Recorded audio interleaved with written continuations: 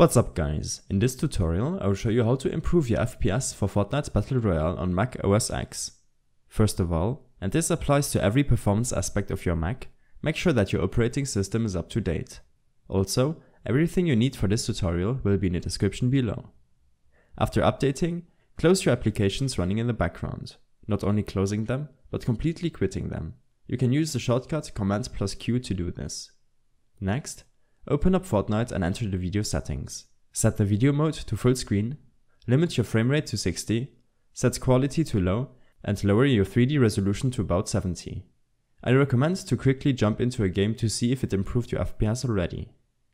If you feel like you have enough performance, then you can increase your 3D resolution again. Turn VSync and motion blur off.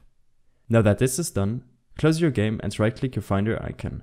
Select Go to Folder and in this dialog box enter this file path.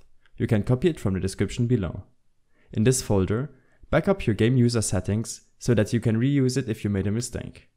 Open your game user settings with TextEdit. Here, you want to change your resolution size X to 1048 and resolution size Y to 576 for 576p resolution.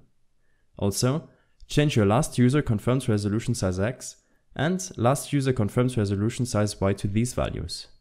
If you want an even lower resolution, then use 640 for Y and 480 for X for a 480p resolution. Change B use VSync to false and finally SG resolution quality to 70. Make sure to save the file and then close it. Now that this is done, try out which resolution works best for you. If your game is still lagging, then free up disk space and RAM. You can do this with programs like CCleaner and Memory Clean.